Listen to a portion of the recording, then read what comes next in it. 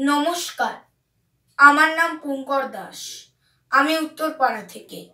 আমি একটি কবিতা আবৃত্তি করে শোনাচ্ছি। কবিতার নাম জন্মান্তর। কবিগুরু রবীন্দ্রনাথ ঠাকুরের লেখা। আমি ছেড়েই দিতে রাজি আছি, সুসভ্যতার আলোক। আমি চাই না হতে নববঙ্গের নবযুগের চালক। আমি নাইবা গেলাম বিলাত। নাইবা পেলাম রাজার খিলাত। যদি পরজন্মে পাইরে হতে ব্রজের রাখাল বালক, তবে নিভিয়ে দেব আমার ঘরের সুসভ্যতার আলোক। যারা নিত্য কেবল ধেনু চড়ায় বংশী বটের তলে, যারা গঞ্জা ফুলের মালা গেথে পরে পরায় গলে, যারা বৃন্দাবনের বনে সদাই শ্যামের বাসি শোনে। যারা যমুনাতে ঝাঁপিয়ে পড়ে, শীতল কালো জলে। যারা নিত্য কেবল ধেনু চড়ায় বংশী বটের তলে।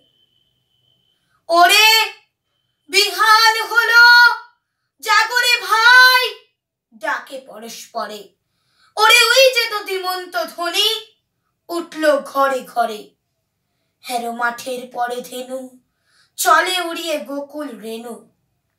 হেরো কুঞ্জ বনে নাচে ময়ূর, কলাপ খানি তুলে। ওরে, বিহাল হলো জাগরে ভাই, ডাকে পরস্পরে। ওরে শাউন মেঘে ছায়া পড়ে, কালো তমাল মূলে।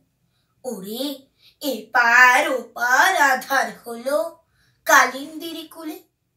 ঘাটে গোপাঙ্গনা ডরে, কাপে খেয়া তরির পরে। হেরো কুঞ্জ বনে নাচে ময়ূর, কলাপখানি তুলে। ওরে, শাওন মেঘে ছায়া পড়ে, কালো তমাল মূলে। মোরা নব নবীন ফাগুন রাতে, নীল নদীর তীরে।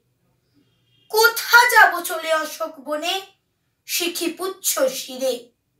যবে দোলার ফুলরাশি দিবি নিপু শাখায় কষি। যবে দক্ষিণ বায়ে বাঁশের ধ্বনি উঠবে আকাশ জুড়ে। মোরে রাখাল মিলে করব মেলা নীল নদীর তীরে। আমি হব না ভাই নববঙ্গের নবযুগের চালক। আমি চালাবো না ভাই আধার দেশের সুসভ্যতার আলোক। যদি ননি ছানার গায়ে কোথাও অশোক নিমের ছায়? যদি কোনো জন্মে পাইরে হতে ব্রজের গোপ বালক? আমি হব না ভাই নববঙ্গের নবযুগের চালক। নমস্কার।